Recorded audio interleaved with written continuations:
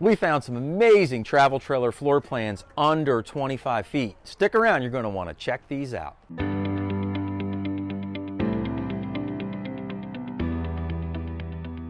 Hi everybody, Mike from RV Blogger here in front of the camera and Susan's behind the camera and today we're taking a look at travel trailers that are under 25 feet long. We found some amazing floor plans. We're saving the best one for last, so stick around till the end of the video so that you can check it out. Hey, if you've seen us on YouTube before, welcome back to the channel. If this is your first time seeing us on YouTube, welcome aboard. We make tons of videos all about RVing and we have our website, rvblogger.com, where we literally have hundreds of articles that we've written all about RVing as well. And if that's not enough, we also have our Facebook group, RV Camping for Newbies. We invite you to join the group, hang out with other RVers, and learn all about RVing. Today, we're going to focus in on travel trailers under 25 feet long. I think you're going to love some of these floor plans. So let's get started with our brief reviews right now. This travel trailer is the Jayco Jay Flight 174BH, which means that it's got a bunkhouse. It's a very nice, small, compact travel trailer. It weighs 3,075 pounds. Couldn't have said that any worse.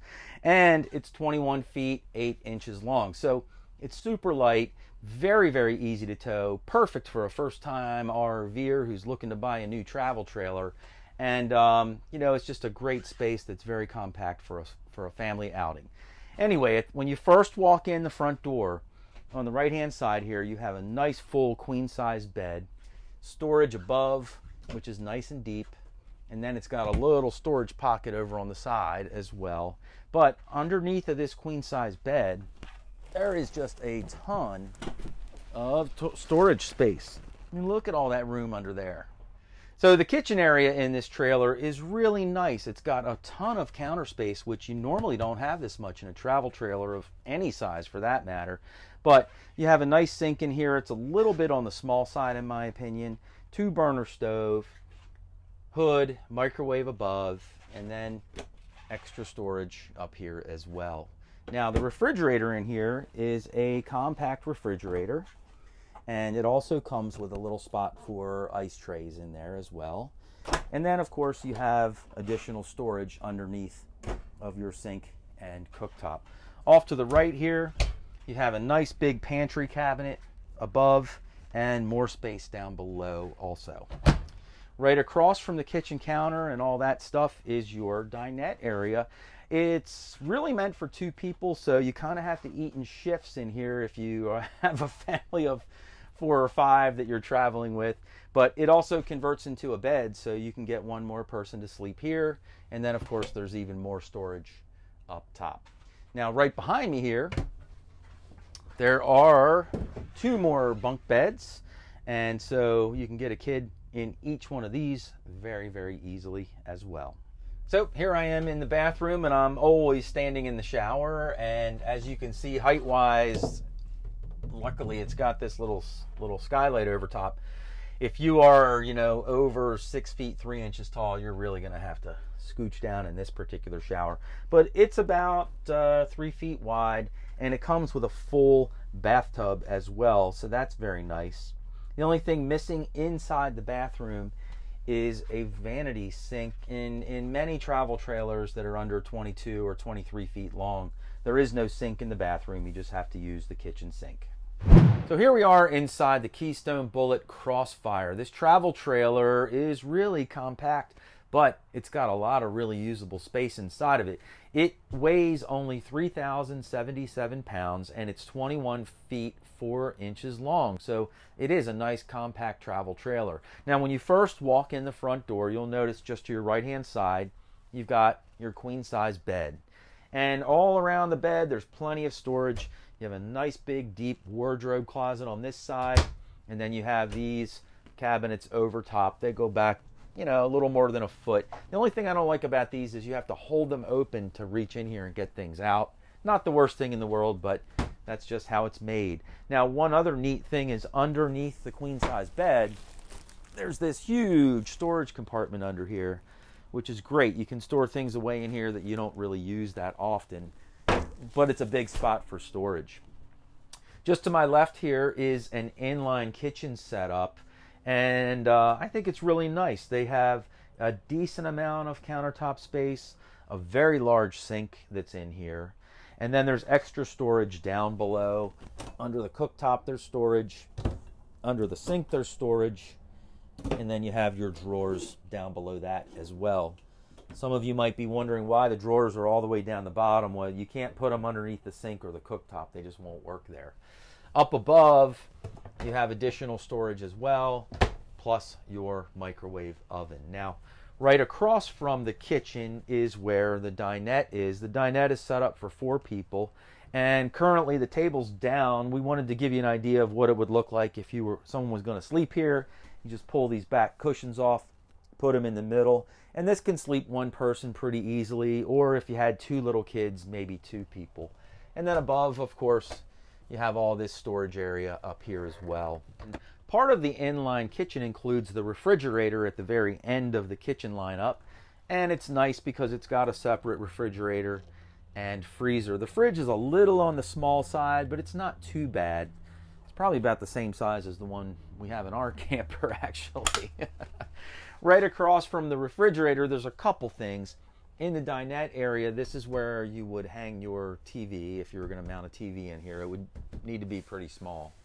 And then you have two bunk beds in here, and both of the bunks have an electrical outlet, HDMI, not HDMI. What's the word? USB. USB port so you can the kids can charge their devices, charge their phones, charge their games, whatever they're into. All right, so here we are in the bathroom, and as usual, I'm standing in the shower area. Now, if you are taller than me, you would have a tough time in this shower. I'm 5'11. There is maybe an inch over my head before you hit the ceiling. And even if you're standing in the little skylight area, I only have three inches over my head. So, you know, taller guys, you're going to have to crouch down in here. But the shower's about three feet wide. And one nice feature is if you have little kids and you need a bathtub, this travel trailer actually has a bathtub. There's no seat taking up space, so the tub is the full three feet wide as well. Also in here, you'll notice, you know, a decent sized medicine cabinet. Down below that, a decent sized vanity, and then of course, plenty of storage underneath.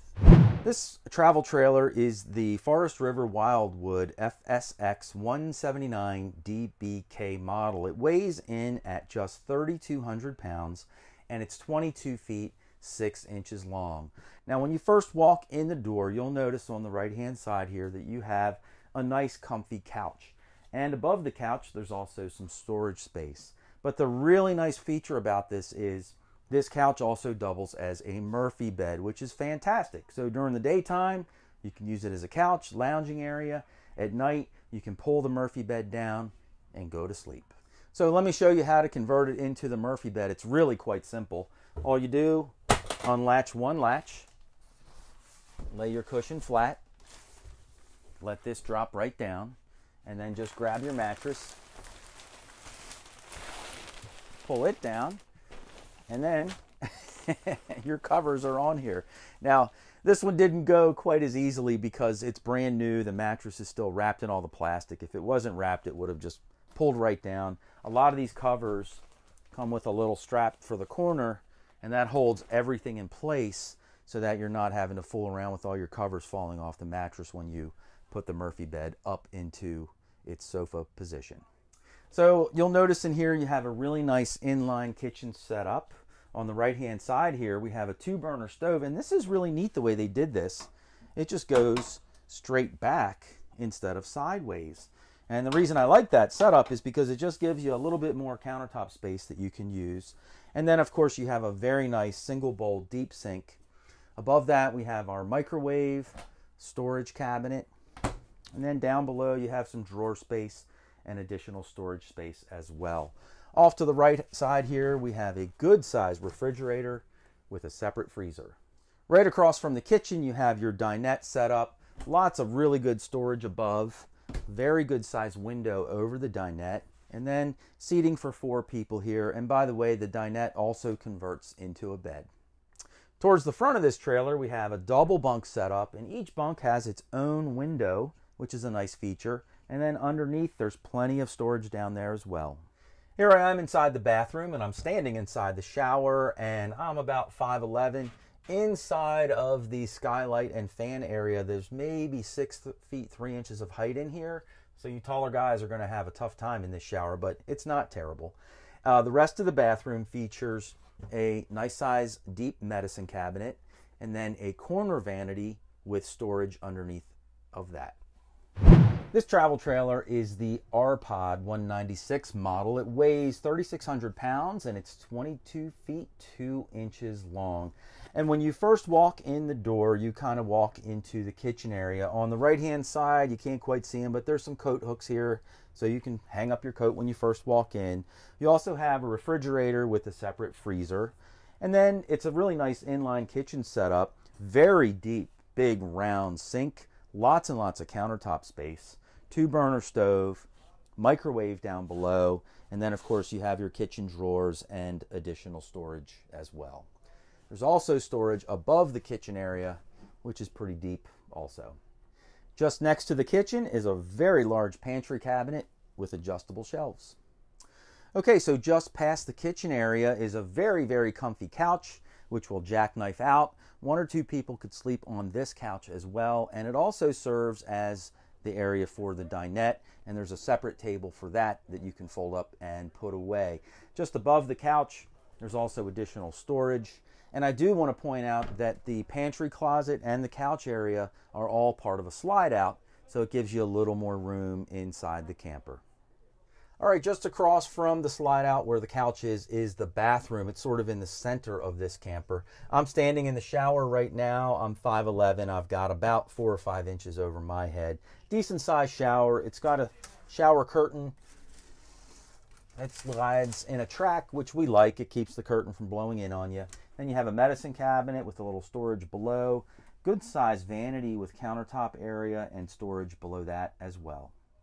Okay, so here we are at the front of this travel trailer, and there's a very nice size queen size bed up here. There's also a wardrobe closet on each side, little nightstand with a receptacle and a USB port as well.